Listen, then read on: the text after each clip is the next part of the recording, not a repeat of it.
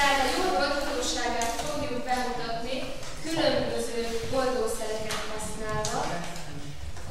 Három darab kémcsőben van, a három kémcsőben három különböző anyagot veszek.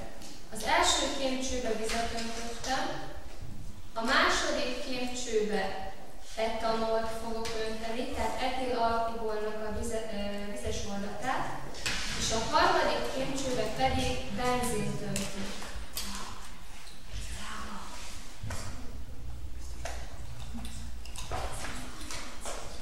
Na most természetesen szag alapján föl lehet ismerni ezeket a folyadékokat, viszont ha ránézek, ugye láthatom, hogy mind a három kémcsőben színtelen folyadékok találhatóak. Hát ha nem szak, hanem valami más alapján szeretném azonosítani az anyagokat, akkor az azonosításra tökéletesen alkalmas a jód. Egy-egy jód gömböcskét, szilárd halmazállapotú jód van ebbe az üvegbe, és gömb formátumban, mind a három kémcsőbe beledobok egy-egy kis jóskristát,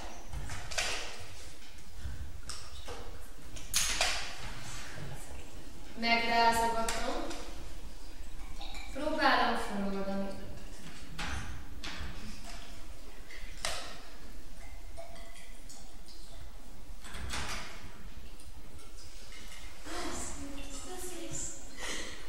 Na most egyértelműen látható, hogy a három már három különböző tapasztalat határozható meg. Az első kémcsőben víz volt, mivel a víz ugye poláris, a jót pedig a poláris, a hasonlót hasonlót old el alapján, nem tudom a jódot vízben feloldani.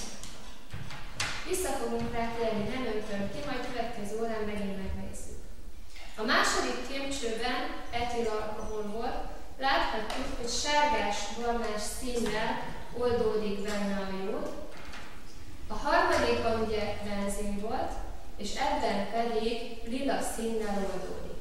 Na most a két kémcső, amely e, oldotta a jódot, abban különbözik, hogy az etil alkoholban van oxigén, a benzinben pedig nincsen.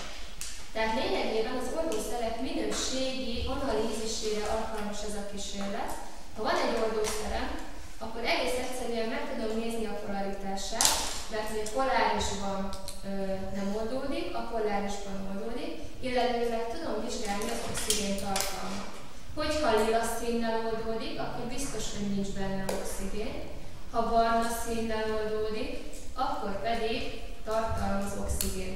Hát ez ettől eltérő egyéb szerves oldószer is lehet, de ha van benne oxigén, akkor ilyen sárgás, barna színt vigyel a kettőnk